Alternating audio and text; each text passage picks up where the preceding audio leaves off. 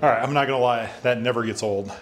Hey, so I, I, took a, you know, just a weekend, just kind of a break. I did a whole bunch of projects, and I've had this machine. Maybe, I it's almost a month, and I, within that month, I got everything assembled, got everything tested, calibrated, did all those really cool things, got it trimmed, and started producing some really cool things. And within that month, man, I have learned so much about the software, the, the capabilities of this machine, and I figured, hey, let's let's just do, do a quick video I'm talking about the five things that I really, really enjoy about it. So just a quick overview. This is a 5x10 uh, Avid CNC. It has an AV70S spindle. This thing is super awesome. We're going to talk about this specifically. Um, and then we'll go over some of the attachments that I put on it and some of the results that I've been uh, kind of getting out of it. So yeah, so number one, let's talk about assembly. so I cannot tell you how awesome this thing was to assemble. Now, you know, I upgraded, already had a CNC machine, so I kind of knew what, you know, rail systems and squaring and all this other things that needed to go into it.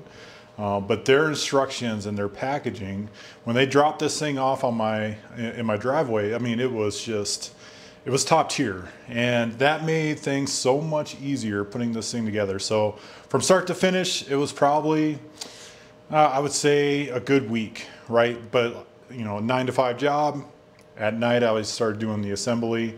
Um, it took me about five you know total days to get everything assembled tested calibrated all the tramming that went into it uh, before i started doing any test cuts and then probably another week before uh, I really jumped into an actual project, just getting familiar with the motion software, doing all those things, um, which made everything really easy. Uh, but yeah, the assembly, uh, hands down, super awesome. And uh, I commend Avid uh, for putting the time and effort into that because, I mean, it was just, it was top tier. Okay, so number two on the list, the AV70S. Now, I mean, this thing is a huge upgrade than what I'm used to. I, I have I had the carbide uh, spindle. Um, that thing was 110. It was super awesome. Uh, but this thing is just, I mean, it's just a monster. It is ATC ready. Um, so when they release that next software update, I'll be able to, you know, implement that. That's probably one of the biggest things why I went with the Avid was that ATC ready capability. Uh, I do a lot of tool changes. I do a lot of different, you know, multiple different tool paths with different tooling. Um, so I'm really excited for that thing to come out. Uh, please, Avid, uh, send me that as soon as possible. That would be super awesome. Um, but yeah, so this thing go from 1,000 to 24,000 RPMs and it's seven horsepower. I did a couple test cuts and some really thick walnut and I mean it just ripped right through it. And I did a whole bunch of uh, planing operations where I was flattening a bunch of wood I have a video on that. I mean, it flattened wood like, I mean, it was crazy. So, you know, these upgraded bits uh, for flattening, these things are, are, I mean, just super awesome and it just, it tears right through it. There's uh, just effortlessly. And uh, between the tool changes, I mean, it's just, it's so quick um, and it's safe. You know, it's, it's considered a smart spindle. So we have lights up here that you know, indicate that, you know, it's safe to actually take the tool out, uh, replace it, and then when it goes into operation, you know, it, it tells you. So I thought, I think that's a really good feature. Uh, but again, this thing is just, it's just a monster and uh, highly, highly impressed. It's quiet. I love it. So another feature, you know, with the A70S that I really, really enjoy um, are these ISO 30 tool holders. And, you know, with, my previous machine, I mean, this was my max. I couldn't go any more uh, than a quarter of an inch as far as the shank. And now I can fit half inch and even three quarter. I couldn't imagine what three quarter would look like uh, in this machine. Number three on the list, the tool height setter. This thing, man, again, you know, I did all my, my tool changes manually on the Shapeoko. I had a system where I'd measure, you know, using the, the paper method, you know, using a very thin parchment paper, getting above after I changed the tool to get that uh, increment uh, zero. This thing is super quick. Uh, I load that tool in, I'll automatically come over measure it based on the height of uh, my original zero plus my wasteboard. And that thing, man, it is, It is super cool.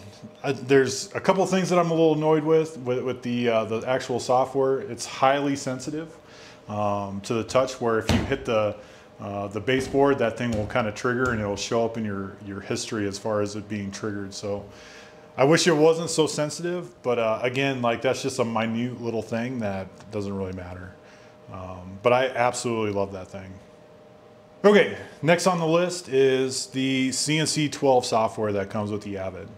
Now this Centroid uh, software suite, I'm used to very basic, you know, up, down, left, right, you know, set Z. Uh, I, there's a, a, couple other options on the uh, carbide motion software. And that was really all I really needed at the time. Uh, this, whole different ball game. So what I really like about the software is, you know, already had the, the files come in for Fusion 360 uh, that's uh, Avid CNC produced. It was very seamless. All the G code that needed to be implemented for the tool changes and how it communicated with the wasteboard. Now there's some things in the background that I think are just phenomenal uh, things that Avid put in. And they have a kind of a save your wasteboard type application in the background. I didn't really understand it at first.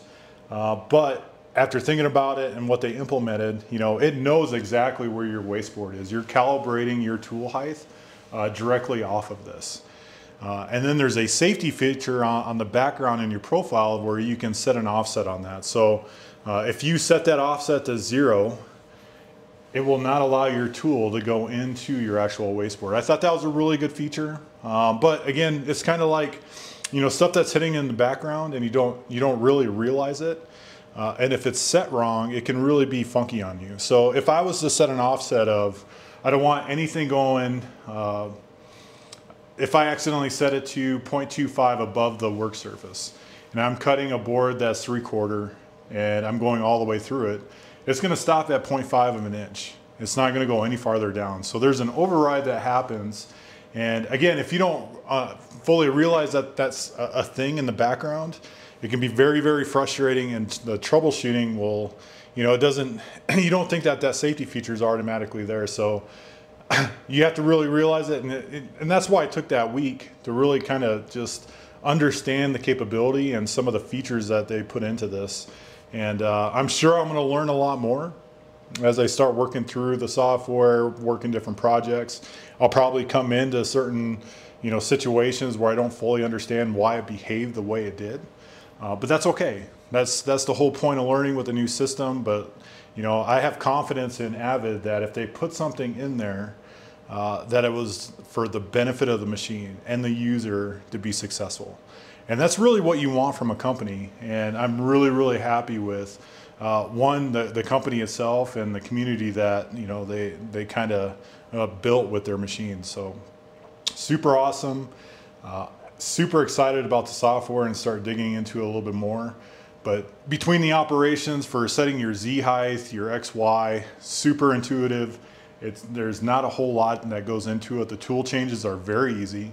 Um, and that all gives me confidence that, you know, when I hit go, my cut will be successful. It's gonna go exactly where I want it to go and do the cut that I, I programmed it to do.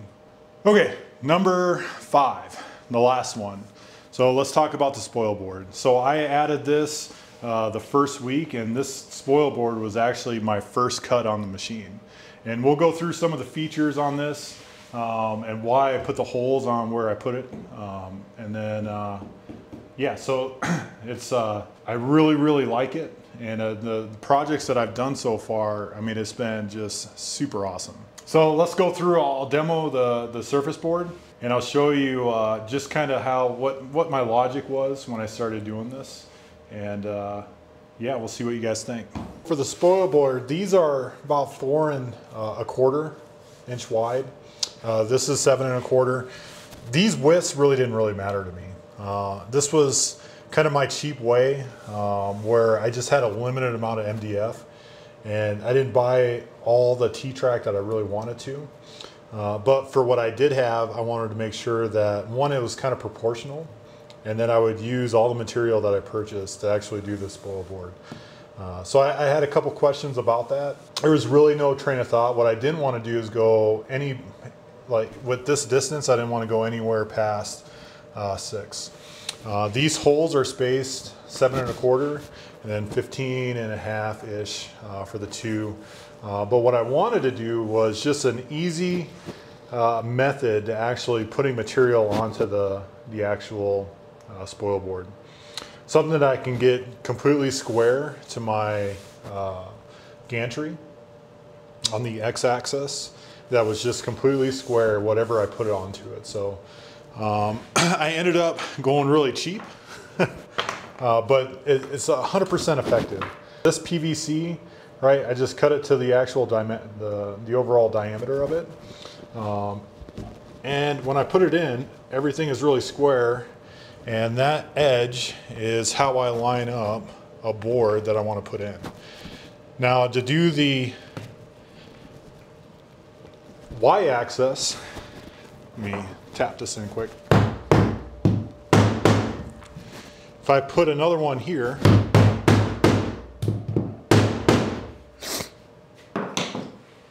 I officially have a 90 degree angle that I can line things up with. And depending on the height and the material that I want to use, if I'm, this is three quarter, if I want uh, to actually machine something, I can use this as a spacer, get it away from that edge, and then I can put whatever I want on top of it. So it's just a really quick way of getting something completely parallel to my gantry. Super nice to have.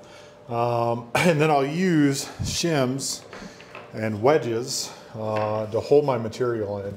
And uh, let's uh, let me go get a piece of board and I'll walk you through what this actually looks like. At the end of it, I, the, the overall goal, get it completely square and then completely flat to my spoil board. So I'll show you how we do this. All right, so I got a board here. I just want to go ahead and I just want to get everything lined up uh, where it's completely, you know, centered um, and square to my work surface. So I'm to add just a couple of these in here. And then we'll put another one, yeah, see right about here.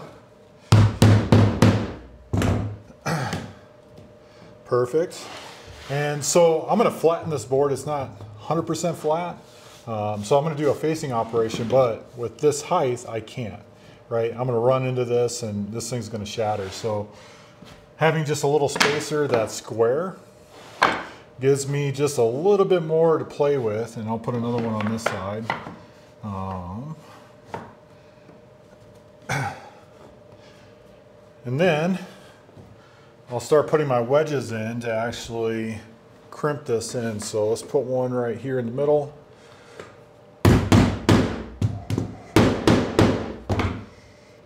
I'll do this one. Now this board isn't cut square.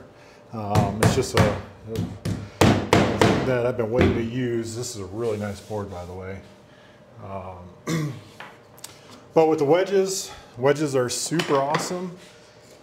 And it's just a couple taps, this thing will get completely square to the actual surface. And so I cut a whole bunch of these it's kind of comical how I did this uh, because I, I, did it in a very fast manner.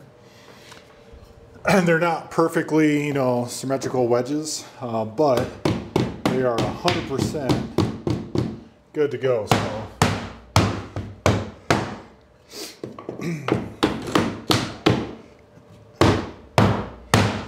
and that's it. So this board is not going anywhere. And it's a very just a, a, simple, quick thing. I don't have to use these. I can use these T-tracks if I really wanted to and cinch it down. I have a whole bunch of options. But if I wanted to plane really long pieces of lumber or a slab, I can dictate where that thing winds up on this complete, the complete spoil board, get everything flat, get everything symmetrical, and I know exactly where it's at on my work surface. And then I can do my normal zeroing and uh, it just makes it really, really fast. So again, I use this method for that round table that I did. And uh, I mean, it was very quick, simple, and I didn't have to re-zero. I didn't have to move around. I knew exactly where that piece of, piece of board was.